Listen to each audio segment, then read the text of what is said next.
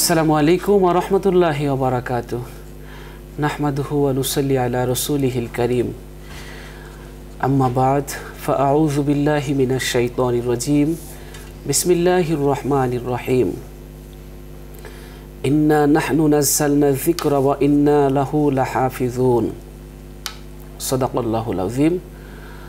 ওয়া নাহনু আলা যালিকা মিনাশ শাহিদিন ওয়াশ শাকিরিন। আলহামদুলিল্লাহি রাব্বিল আলামিন। কাছের এবং দূরের, দেশের এবং প্রবাসের যে যেখান থেকে আলোকিত প্রতিদিন অনুষ্ঠান দেখছেন, শুনছেন, সকলকে অনেক অনেক প্রীতি ও শুভেচ্ছা। প্রিয় দর্শক শ্রোতা, কেমন আছেন? আশা করছি ভালো আছেন, সুস্থ আছেন। আমরা সবসময় এই দোয়া করি আপনাদের জন্যে, আল্লাহ যেন যেখানেই থাকেন, যেভাবেই থাকেন, আল্লাহ আপনাদের ভালো রাখেন, সুস্থ রাখেন, নিরাপদে রাখেন। প্রিয় দর্শক শ্রোতা, আজ আলোকিত প্রতিদিন অনুষ্ঠানে আমরা একজন বিশিষ্ট ইসলামী ব্যক্তিত্ব জগতের উজ্জ্বল নক্ষত্রকে আমন্ত্রণ জানিয়েছি। এবং জীবন ঘনিষ্ঠ একটি বিষয় আজ আমরা আলোচনার জন্য নির্ধারণ করেছি। আপনারা জানেন, আলোকিত প্রতিদিন অনুষ্ঠানটি একটি ব্যতিক্রম ধর্মী ইসলামী অনুষ্ঠান। এই অনুষ্ঠান মানুষের হৃদয়ের খোরাক যোগানোর চেষ্টা করে, মানুষের আত্মার কথা বলার চেষ্টা করে। মানুষের হৃদয়ে ছুঁয়ে যাওয়ার কথা বলার চেষ্টা করে। তো সেই ধারাবাহিকতায় আজ আমরা এই অনুষ্ঠানে একজন প্রিয় মানুষকে আমন্ত্রণ জানিয়েছি। চলুন তাকে আপনাদের সাথে পরিচয় করিয়ে দিচ্ছি। আজ আমাদের সাথে আছেন Omargani M E S college চট্টগ্রামের সম্মানিত ইসলামের ইতিহাস ও সংস্কৃতি বিভাগের সম্মানিত সাবেক অধ্যাপক ও বিভাগীয় প্রধান, বিশিষ্ট ইসলামী চিন্তাবিদ ডক্টর আফামা খালিদ হোসেন। আসসালামু আলাইকুম ওরহমতুল্লাহ ওবরাকাত ওয়ালাইকুম আসসালাম ওরহমতুল্লাহ ওবরাকাত মোহতারাম কেমন আছেন আপনি? জি আলহামদুলিল্লাহ ভালো আছি। আলহামদুলিল্লাহ। প্রিয় দর্শক শ্রোতা আজ আমরা একটি চমৎকার বিষয় নিয়ে কথা বলব। আর আজ যে বিষয়টি নিয়ে কথা বলব সেটি হচ্ছে আমাদের জীবনের উদ্দেশ্য। আসলে আমরা কোথায় ছিলাম কোথায় আছি কোথায় যাব কেন এসেছি কি করার ছিল, কি করছি, এই বিষয়গুলো আসলে আমাদেরকে ভাবায়। পৃথিবীতে অনেক মানুষ এসেছিল, পৃথিবীর শুরু থেকে আজ পর্যন্ত। একটা সময় পর তারা সবাই চলে গেছে না ফেরার দেশে, নীরব, নিস্তব্ধ এক নগরীতে চলে গেছে, যেখানে একবার মানুষ চলে গেলে আর কখনো ফিরে আসে না।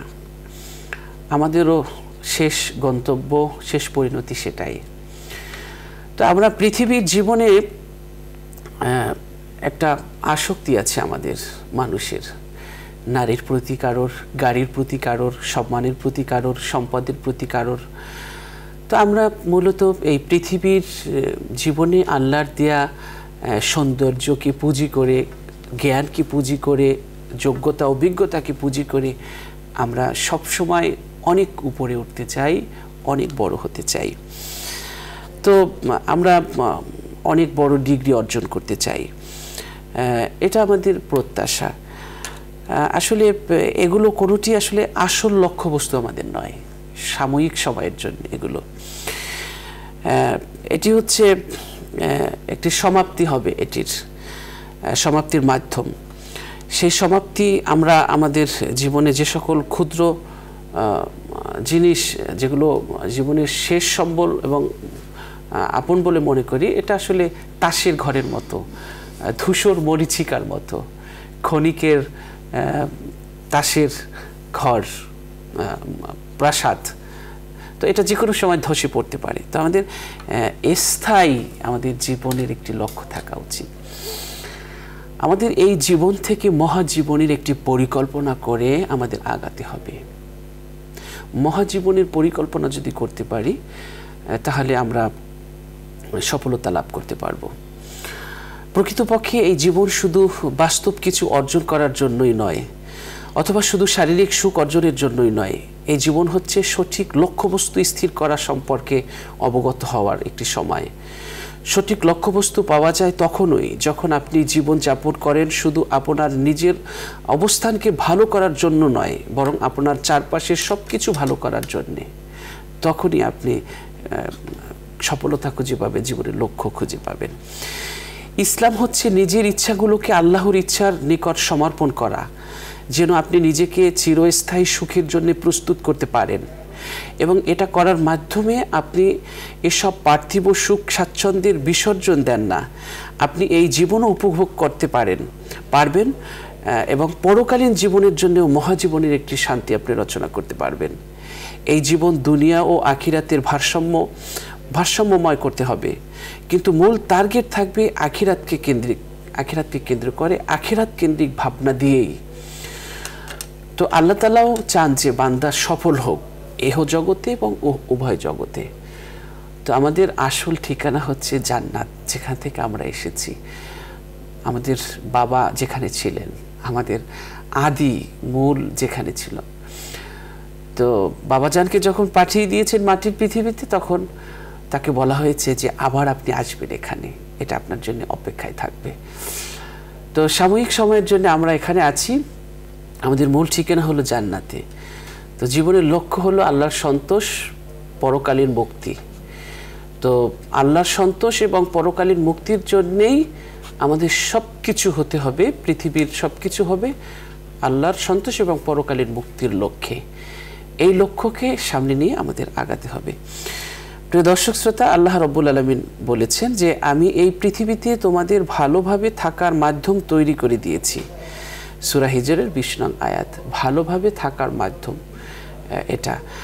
তার মানে এখানে আমরা ভালোভাবে থেকে ওপারের যে একটা জীবন আছে, মহাজীবন, সে আরামদায়ক জীবনের কথা ভুলে গিয়ে যে শুধু এখানের জীবনটাকে নিয়ে ভাববো, এমনটি হতে পারে না।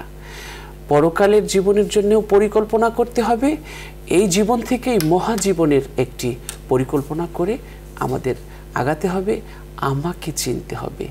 কেন এখানে পাঠানো হয়েছে? কি আমার লক্ষ্য? কোথায় আমার গন্তব্য? কোন পথ আমার? কোন পথ ধরে আমি চলে সামনে যাব? এই জীবনের লক্ষ্যকে চিহ্নিত করতে হবে। লক্ষ্যকে চিহ্নিত না করে যদি নিরুদ্দেশ্যের উদ্দেশ্যে ঘোরা ছুটাতে থাকি, তাহলে তো আমরা লক্ষ্য বস্তে বস্তুতে আমরা পৌঁছাতে পারব না লক্ষ্যে। এজন্য আসুন, আমাদের জীবনের লক্ষ্য কি? এ বিষয়টি নিয়ে আমরা আমাদের আজকের অতিথি বিশিষ্ট একজন ব্যক্তি, পণ্ডিত, লেখক, যাকে আপনারা প্রায় দেখেন, তার কাছ থেকে আমরা এ বিষয় নিয়ে আলোচনা শুনছি। হ্যাঁ ধন্যবাদ আপনাকে। মহান আল্লাহ রব্বুল ইজ্জত মানব জাতিকে তৈরি করেছেন একটা পার্টিকুলার উদ্দেশ্য নিয়ে। এমনি এমনি আল্লাহ তালা তৈরি করেন নাই। কোরআন শরীফে আল্লাহ তালা বলেন বিসমুল্লাহ রহমান রহিম। ওমা খলকুল জিন্নাউল ইনসাইল্লাহবুদুন আমি মানব জাতি এবং জিন জাতিকে তৈরি করেছি আমার এবাদত করার জন্য।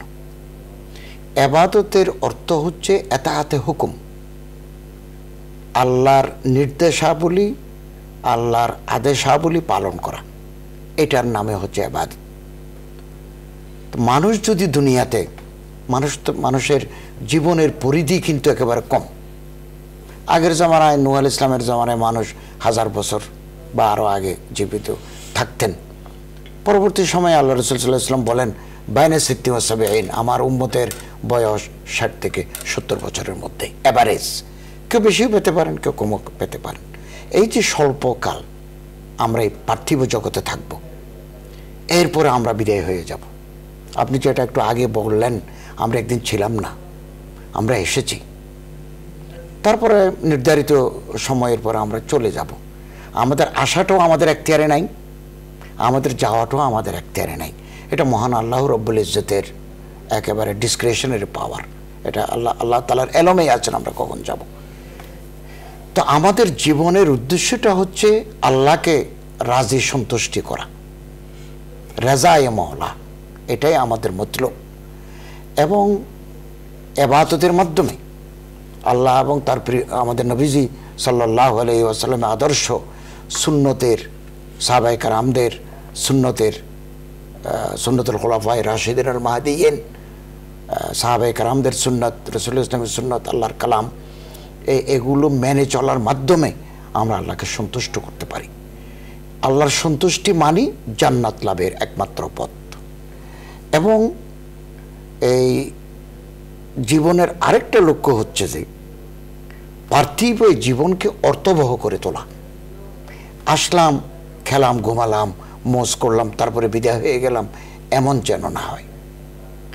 এবং প্রতিটি কাজের জন্য আল্লাহর কাছে জবাব দিতে হবে। এই পৃথিবীতে আমরা যত কাজেই করব না কেন we must be accountable to Allah the lord provident জবাব দিতে হবে। ফৈসাল হুকুমান আমা আলিকুম আল্লাহর পগম্বর তোমাদের দুনিয়াতে যতদিন ছিলে তার প্রতিটি কাজের জন্য আল্লাহর কাছে জবাব দিতে হবে। অতএব এমন কোনো কাজ আমরা করব না যাতে আল্লাহর বিচারের কাঠগড়ায় আমাদের দাঁড়াতে হয়।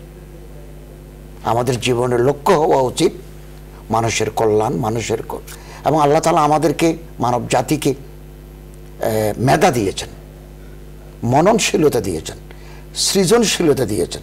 আমরা অনেক অভিজ্ঞতা অর্জন করেছি। এটা যেন মানুষের কল্যাণে লাগে। এটা যেন বিপন্ন মানুষের কাজে লাগে, অসুস্থ মানুষের কাজে লাগে। এবং এই দুনিয়াটা হচ্ছে মজরাতুল আখেরা। এটা আখেরতের কর্ষণ ক্ষেত্র, আখেরতের কেতি তো এই জীবনের লক্ষ্য উদ্দেশ্য কিন্তু ব্যাপক কথা এটার একটা দার্শনিক ব্যাখ্যা আছে মেটাফিজিক্যাল ব্যাখ্যা আছে। এটা আবার ধর্মীয় ব্যাখ্যাও আছে। যত নবী রসুল আল্লাহ রব্বুল ইজ্জত মানব জাতির হেদায়তের জন্য পাঠিয়েছেন, কেউ কিন্তু পৃথিবীর এই জনগোষ্ঠী, দেশ ছাড়ি তারা দ্বীপান্তরে, পাহাড়ি জঙ্গলে যান নাই। আদম আল ইসলাম থেকে আমাদের হজরত মোহাম্মদ সাল ইসলাম পর্যন্ত নবীদের ইতিহাস খুঁজলে দেখা যায়, তারা এই সমাজের সাথে সম্পৃক্ত ছিলেন। সমাজ তাদেরকে বিদায় করে দিয়েছে। সমাজে অনেক নবীকে হত্যা করেছে। গৃহহীন করেছে, বাস্তুচ্যুত করেছে, কিন্তু তারা জনগণের সাথে সম্পৃক্ত ছিলেন। কষ্ট এবং তাদের জন্য কোনো বদোয়া করেন নাই। তাইফে আমাদের নবী করিম সাল্লাহ তাইফবাসের জন্য বদোয়া করেন নাই। তারা এগুলো সহ্য করেছেন। অতএব এই পার্থিব এই জীবনকে আমাদের অর্থবহ করে তুলতে হবে। এবং আমরা যাতে কারও মুখাপেক্ষি না হই। রসুল করিম সাল্লাহ আলি ইসলামের হাদিস তলব কসবিল হালাল ফরিজাতন বাদাল ফরিজা নামাজ রোজা হজ জাকাত ইমান এগুলো আউ্বালিন ফরজ বাধ্যতামূলক ফরজ দ্বিতীয় স্তরে একটা ফরজ আছে, হালাল জীবিকা উপার্জন. আমরা এই পৃথিবীতে যতদিন থাকব একটা সম্মানজনকভাবে আমাদের বাঁচতে হবে। তাহলে অক্রবী জিন্দেগি পরকালীন জীবন আমাদের সুন্দর হবে। এবং আল্লাহ তালা সেটা রাজি হয়ে যাবেন। এবং এই পার্থিব জগতে আবার এত বেশি দুনিয়াদারি নিয়ে যদি আমরা ব্যস্ত হয়ে যাই, আখেরতকে বলে বসি। হুকুকুল্লাহ, হুকুকুল এবাদ এই দুইটা যদি আমরা বিসর্জন দিই, আল্লাহর হক আছে, এটা আমরা পালন না করি। আমরা এই পার্থিব জগৎ নিয়ে ব্যস্ত হয়ে গেলাম। মানুষের অনেক হক আছে। এই হকগুলো যদি আমি আদায় না করি, ও ওফি আমওয়ালিহিম হকুম মালুম লিসাইল মাহরুম। কোরআন শরীফে আছে, তোমার সম্পদে গরিবের হক আছে। হক হক ইজ রাইট হক কিন্তু অনুদান হক হচ্ছে অধিকার, কোরআন শরীফে আছে। হকুম মালুম লিসাইল ওয়াল মাহরুম। আল্লাহ যদি আমার বৃত্তশালী করেছেন, দুনিয়ার দৌলত দিয়েছেন, আমি কষ্ট করে জোগাড় করেছি, আল্লাহ দয়া করেছেন, তাহলে বুঝতে হবে এই সম্পদের ভিতরে গরিবের জাকাত ছাড়াও ইন্না ফিল মালে আছে না? সেবা জাকাত হক্কান সেবা জাকাত ইন্না ফিল মালে হাক্কান সেবা জাকাত জাকাত ছাড়াও ধনীদের সম্পদে গরিবের অধিকার আছে। এই অধিকার যদি আদায় করে দিই, তাহলে আমার জীবনের লক্ষ্য স্থির হয়ে যাবে। আল্লাহ তালা আমার মুক্তি দেবেন, মাগফেরত করবেন। আল্লাহ তালা আমাদের জান্নাত দেবেন। বহু ধনী ব্যক্তি আমাদের সমাজে আছে। আলহামদুলিল্লাহ, তারা ব্যবসাও করছেন, অর্থ উপার্জন করছেন। আবার তারা পরকালীন মুক্তির জন্য মসজিদ, মাদ্রাসা, দিন ধর্মের কাজও করে যাচ্ছেন। তাহলে তারা দুনিয়ার জীবনেও সফল, আখেরাতের জীবনেও সফল। এবং আমাদের প্রিয় নবী সাল্লাহ আলি ইসলাম বলেন, ওই মানুষ খুশনসিব, ভাগ্যবান, যার এই পার্থিব জগতে খাবারের ব্যবস্থা আছে, মাথার উপর একটা স্বাদ আছে, চলাফেরা করার জন্য একটা বাহন আছে, এ মানুষ খুশনসিব।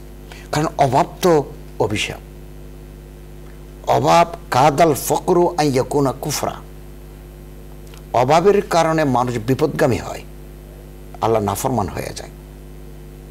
অভাব তো it is a curse for the mankind এই জন্য হজরত সাল্লাহ আলাই ওসাল্লাম অর্থ উপার্জনের জন্য, হালাল টাকা উপার্জনের জন্য বারবার তাগিদ দিয়েছেন।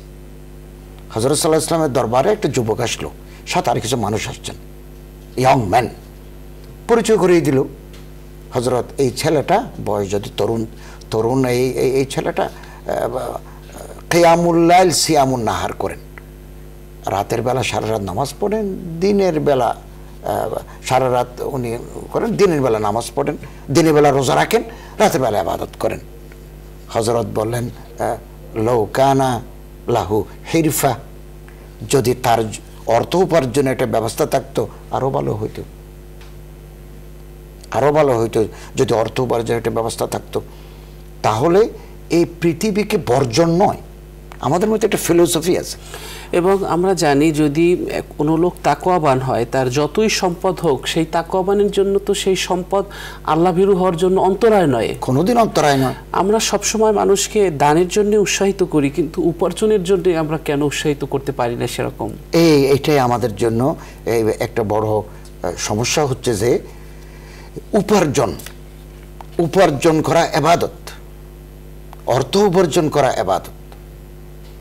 এবং হুজুর আকরম সাল্লাহ আলাই ওসাল্লামের জামানায় আমরা দেখেছি হজরত সাল্লাহ ইসলাম সাহাবাই কেরামদেরকে অর্থ উপার্জনের জন্য উদ্বুদ্ধ করেছেন। এবং তার অর্থ যদি বৃদ্ধি পায়, তার অর্থ দিয়ে তিনি জাকাত দিবেন, সাদাকাত দিবেন। আমরা জানি হজরতের প্রিয় সাহাবে হজরত আব্দুর রহমান ইবনা আউফ রেজাল্লাহ তালা মদিনের অনেক বড় ব্যবসায়ী। এবং হজরতের যখন কোনো অভিযান পরিচালনা করার প্রয়োজন পড়তো আমরা দেখেছি যে গজবাতি তাবুকে আমরা দেখেছি বিভিন্ন ওনারা হজরতের এই তহবিলেই সাহায্য করতেন, দিতেন। তো অর্থ থাকাটা কোনো ক্রমে দোষ নয়, দোষের কথা নয়। এ অর্থ জাকাত দেব, এ অর্থ রাষ্ট্রীয় প্রয়োজন, সামাজিক প্রয়োজন, গরিব দুঃখী মানুষের ঘরে ঘরে পৌঁছে দেব। আপনি জানেন, ইমাম জৈনুল আবিদিন আহলে বাইতে রসুল। ওনার নাম আলী ইবনে হুসাইন ইবনে আলী ইবনে আবি তালিব। উনি ওনাকে মানুষ টাকা দিত। আহলে বাইতে রসুল হিসেবে ওনারা মানুষ মহব্বত করতে ইমাম জাইনুল আবেদিন রাহিমাহুল্লাহকে। এই অর্থ দিয়ে উনি প্রতি রাতে রুটি গোস্ত এবং রুটির সাথে খেজুর অথবা রুটির সাথে হালুয়া তৈরি করে একজন সেক্রেটারি নিয়ে একজন একজন লোককে নিয়ে তিনি মদিনার প্রত্যন্ত অঞ্চলে গিয়ে প্রতি রাতে ওই গরিব দুঃখী মানুষের ঘরে খাবারের প্যাকেট দিয়ে আসতেন। কোনোদিন বলেন নাই এগুলো কে দিচ্ছে? এ, আমরা এই দুনিয়াতে যতদিন থাকব, আমাদের অর্থ, আমাদের সম্পদ, আমাদের মেধা, অভিজ্ঞতা, জনকল্যাণে নিয়োজিত রাখতে হবে। তো অনেক দিন দিছেন কে দিচ্ছে? বলল তো না একথা জিজ্ঞাসা করবে না তুমি নাও। একদিন দেখা গেল যে প্যাকেট আসা বন্ধ হয়ে গেল। আর আসে না। ইমাম তখন তারা মনে করলেন এই মানুষটা হয়তো অসুস্থ না হলে মারা গেছেন। খবর নিয়ে জানা গেল যে ইমাম জৈনুল আবেদিন রহিমাহুল্লাহ মারা গেছেন। অতএব এই এই এই দুনিয়াতে আমরা থাকব এবং আখেরাতের জন্য আমরা এখানে সামান তৈরি করব। আমাদের লক্ষ্য হচ্ছে আখেরাত। আখেরাত। এবং জান্নাত আমাদের মতলব। অনেকে মনে করি যে এই নগদ যা পাও, হাত পেতে নাও, বাকির খাতায় শূন্য থাক। অর্থাৎ এখন যেটা আমার দেখছি যেটাকে, সেটাকেই আমি গ্রহণ করি। কবে পাবো জান্নাত, কবে পাবো ওপারের জীবনের প্রশান্তি এগুলো বাদ দিয়ে দুনিয়াকে নিয়েই আমরা খুব বেশি ই থাকি এবং দুনিয়ার জীবনে সামান্য একটু সুখ শান্তিকেই জীবনের প্রধানতম লক্ষ্য বলে আমরা নির্ধারণ করি এবং সেই লক্ষ্যে পৌঁছার জন্য নিরন্তর আমরা প্রচেষ্টা চালাই ছুটে চলি। কিন্তু আসলে কি একজন মানুষের জীবনের লক্ষ্য নিজে একটু ভালো থাকা এটাই না অন্য অনেক মানুষকে ভালো রাখা সমাজকে ভালো রাখা এবং নিজের পরকালকে ভালো রাখা নিজের উম্মাকে নিয়ে চিন্তা করা এবং উম্মাকে পরকালে ভালো কীভাবে থাকতে পারে? এই ব্যাপক একটা লক্ষ্য হওয়া উচিত। এটা অত্যন্ত গুরুত্বপূর্ণ কথা বলেছেন। ব্যাপক লক্ষ্য হওয়া উচিত। আল্লাহ তালা যদি আমার জ্ঞান দিয়ে থাকেন জ্ঞানও তো বিরাট সম্পদ। অর্থ, বিত্ত দিয়ে থাকেন, এগুলো আমি খুশহালি জিন্দেগি। সুন্দর জীবন আমরা, আমাদের সন্তানদের নিয়ে আমরা পালন করে যাব। আর অনেক মানুষ আছেন যে, নিজের সন্তানদের জন্য কিছু রাখেন না। হজরত সাল্লাহ আলী ওসাল্লামের হাদিস। আমাদের নবীজি সাল্লাহ আলাইসলাম বলেন, এটা অনেক বেশি ভালো তোমার মৃত্যুর পরে তোমার সন্তানদের জন্য কিছু সম্পদ রেখে গিয়ে। এগুলো দুনিয়াতে যদি খেয়ে ফেলো, মজ মস্তি করে যদি নষ্ট করে দাও, তাহলে তোমার মৃত্যুর পরে তোমার সন্তানরা মানুষের কাছে হাত পাতবে, ভিক্ষাবৃত্তি করবে। এর চাইতে অনেক বেশি ভালো তোমার মৃত্যুর পরে তোমার ছেলেরা, সন্তানেরা, সন্তান মেয়েরা যাতে তোমার সম্পদ থেকে তারা অন্তত জীবিকা নির্বাহ করতে পারে। এবং আমাদের লক্ষ্য কেবল এই পার্থিব জগৎ নয়, আমাদের লক্ষ্য হচ্ছে যে আখরাত, পরকাল যার চিরন্তন যার চিরঞ্জীব, যার কোনো ক্ষয় নেই। ওটাই আমাদের মতলব। এবং পৃথিবীতে বহু মানুষ আছেন যারা আমাদের সমাজেও আছেন। শতাব্দীর পর শতাব্দী ধরে আসছে। তারা সম্পত্তি ওয়াকফ করে দিয়েছেন। একটা- নির্ধারিত অংশ। এবং আমাদের তো আইনও আছে। হজরত সাহাদিবিন আবি ওয়াক্কাস রাজিয়াল্লাহ তাল্লাহ রসুলের কাছে সে বললেন, ইয়া রসুল্লাহ আমার সমস্ত সম্পত্তি আমি আল্লাহর পথে দান করে যাব। হজরত বলেন, তোমার কি সন্তান সন্ততি নেই? তা আছে তো। সবগুলো দিতে চাও কেন? তাহলে তো তুমি মারা গেলে তোমার ছেলে মেয়েরা ভিক্ষা করবে। হজরত অর্ধেক দেবো? হজরত বলেন, না। হজরত সাহাদিবিন আবি ওয়াক্কাস বললেন, ইয়া রসুল্লাহ আমি তিন ভাগের এক ভাগ দেবো। হজরত জবাব দিলেন আর সুরুসু কাসির, তিন ভাগের এক ভাগও বেশি হয়ে যাবে। কিন্তু one third of the total corpus of the wealth এটা আমাদের মোহাম্মদান আইনে, এটা এখন আইন হয়ে গেছে যে একজন ব্যক্তি তার টোটাল অ্যাসেট সম্পত্তির তিন ভাগের এক ভাগ দান করতে পারবে। বাকি দুই ভাগ রেখে দিতে হবে তার সন্তানদের জন্য। এটা কিন্তু আইন হয়ে গেছে। এবং অনেকে আপনি যেটা বললেন, অনেক টাকা কামাই করে তারা অনেক অর্থ জোগাড় করে, এখানে তারা বিয়ে করে। এবং এই আখেরতে জন্য তারা কোনো সামান তৈরি করে না, অথবা দুঃখী, বিপন্ন, অসুস্থ, প্রপীড়িত মানুষের কল্যাণে তারা এগুলো ব্যয় করে না। এগুলো রেখে যায় তারা।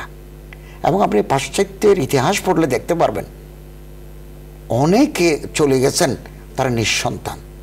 অনেকে কুকুরের নামে উইল করে গেছেন। তাই ওনার তো purpose of life aim of life totally uncertain এত টাকা তিনি রেখে গেলেন এই টাকাগুলো কোনো উইলও করে যান নাই। গভর্নমেন্ট এসে এটা নিয়ে যায়, অথবা কুকুরের নামে উইল করে গেল। এরকম বহু মানুষ আছে। এই জন্য এই আমাদের জীবনের উদ্দেশ্য হওয়া উচিত আল্লাহর সন্তুষ্টি এবং এবাদত। নবী করিম সাল্লামের সুন্নত আল্লাহর কালামের অনুভূতি হয়ে আমরা যদি জীবন পরিচালনা করি, তাহলে আমাদের লক্ষ্য ঠিক হয়ে যাবে। এবং এই যে মৃত্যু, এটা কিন্তু ট্রানজিশন অফ লাইফ আমরা ছিলাম আলমে আরওয়াহে, আমরা আল্লাহর ইচ্ছে এসেছি। এখানে ষাট, সত্তর, আশি, একশো বছর থাকার পরে, এরপরে আমাদের প্রদীপ নিভে যাবে। আমরা আরেক দেশে চলে যাব। কিন্তু লাইফ ইজ ইটারনাল এই জন্য আল্লাহ, দার্শনিক আল্লামা ইকবাল এটা চমৎকার কথা বলেছেন। মতুকু সমঝা হে গাফিল এখতামে জিন্দগি ইয়ে শামে জিন্দগি, সবহে দাওয়ামে জিন্দগি। অনেক গাফিল মানুষ মনে করে, এ তো চলে গেল। ইকবাল বলেন, চলে যায় নাই।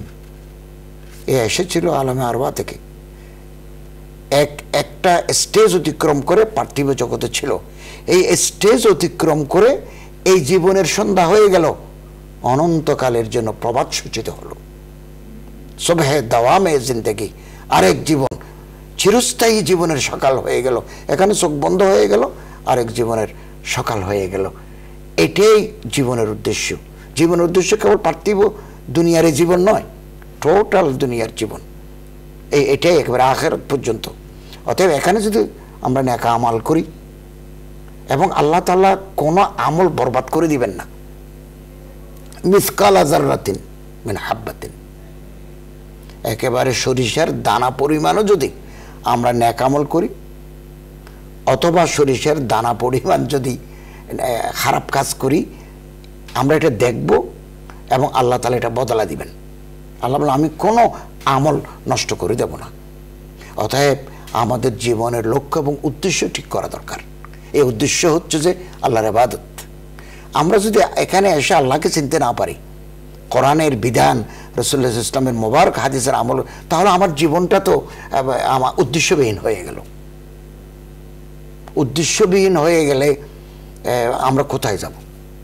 রাহ দে, আল্লাহ ইকবালের কবিতা আছে না, দার্শনিক ইকবালের, রাহ দেখলাইয়ে কিসে, রাহ রবে মঞ্জিল হে নেহি। রাস্তা দিয়ে হাঁটে, কিন্তু কোথায় যাবে সে জানে না। তো আমি কারে পথ দেখাবো? অতএব আমাদের জীবনের পারপাস ঠিক করা উচিত। আল্লাহ যতটুকু দিচ্ছেন আমরা মেহনত করব। লাইসাল ইনসান ইল্লাম আসা পরিশ্রম করতে হবে। আমরা আল্লাহর কাছে প্রার্থনা করব। পরিশ্রম করব, প্রার্থনা করব। আল্লাহ যা দিছেন এগুলোকে বলা হয় কানাত শাহরি। আল্লাহ যা দিছেন আলহামদুলিল্লাহ।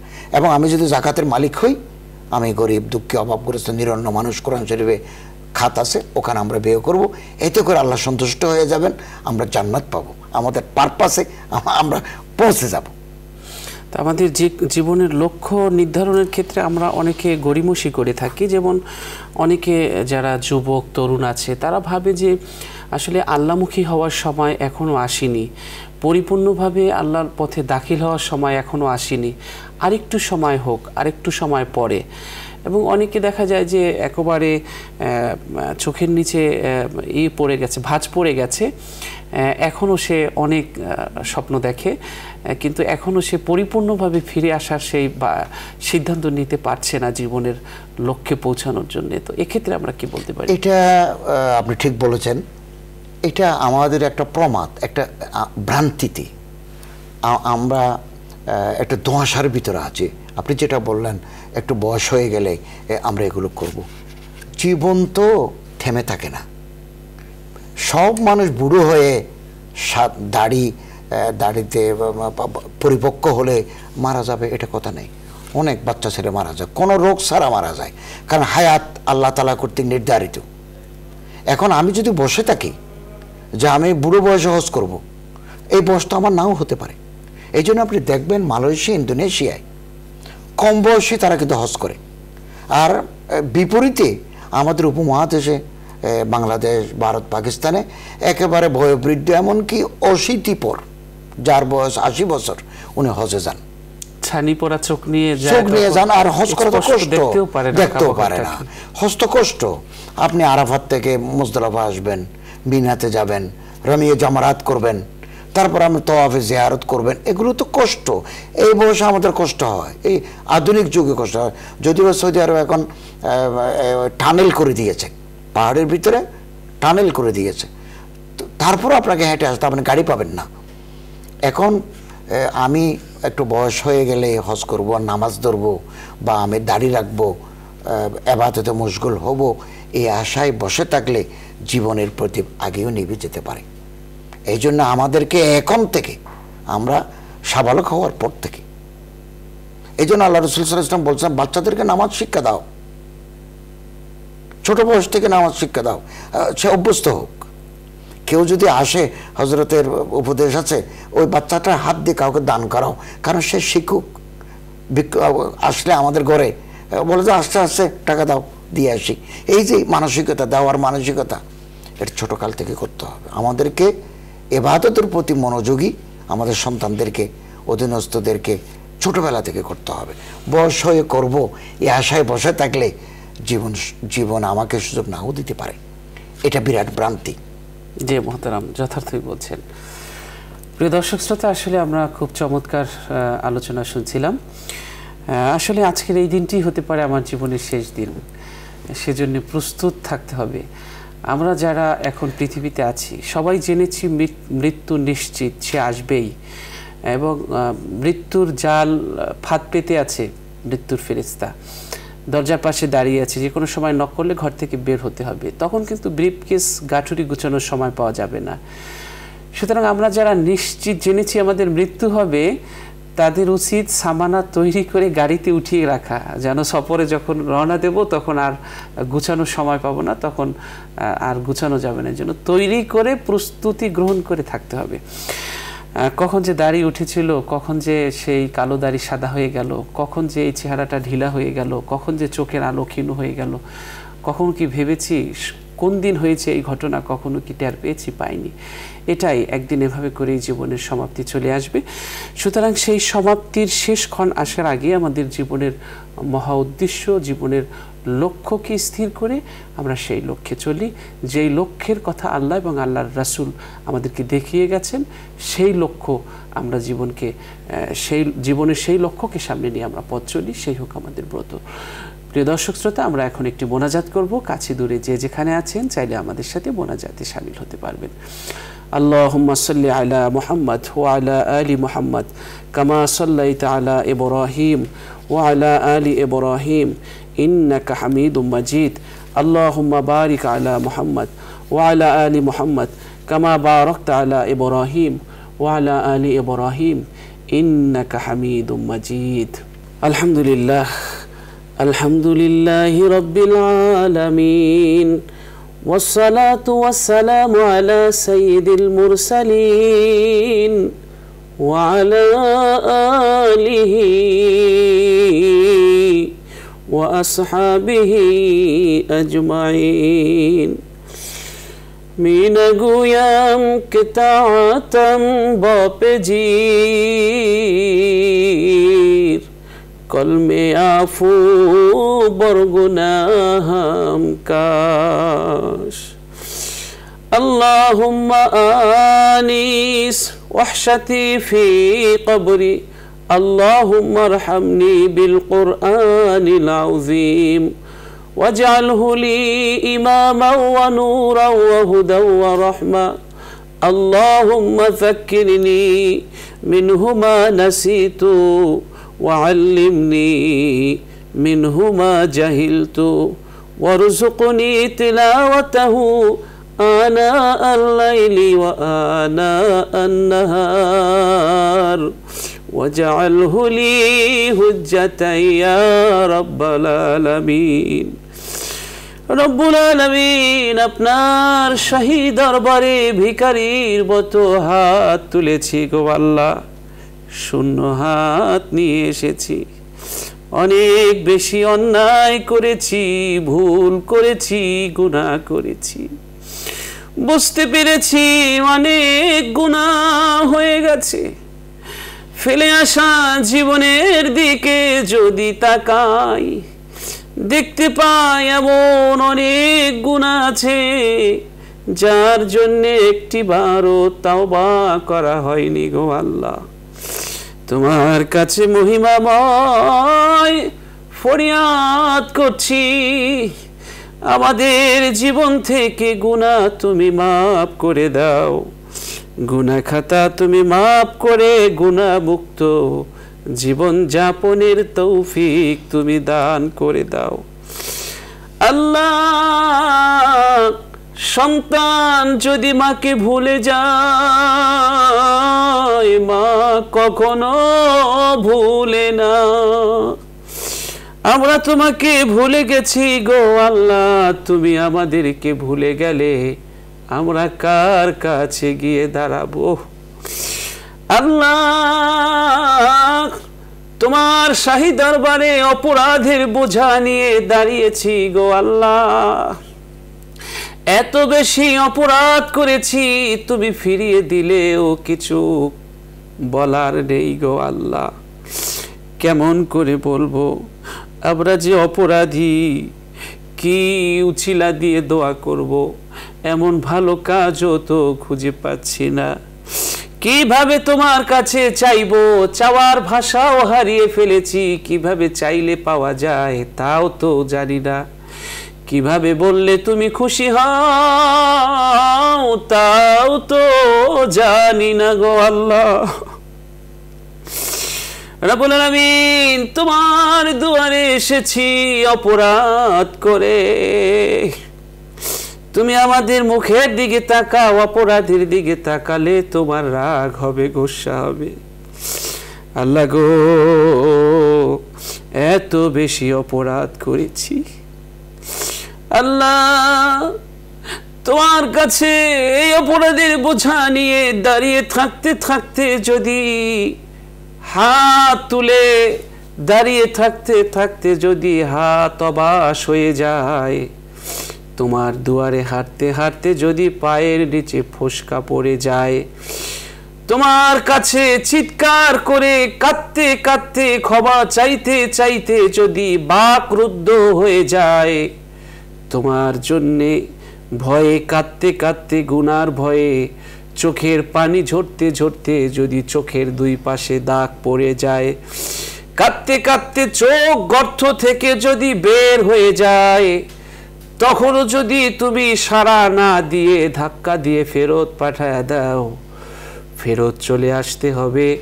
কারণ প্রথম যখন গুনার সাথে মিশেছিলাম তখনই তো জান্নাতের পথ ছেড়ে জাহান নামের পথে হেঁটেছিলাম।